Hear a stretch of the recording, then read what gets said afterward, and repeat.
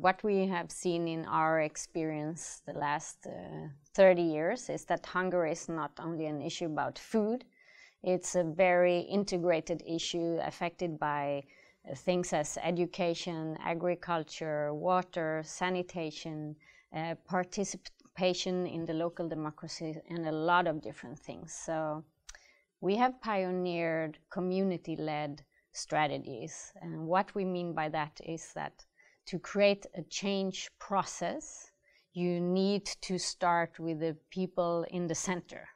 And so that people themselves can see that they are not victims or they are not dependent, but they are the actors and they can create change themselves.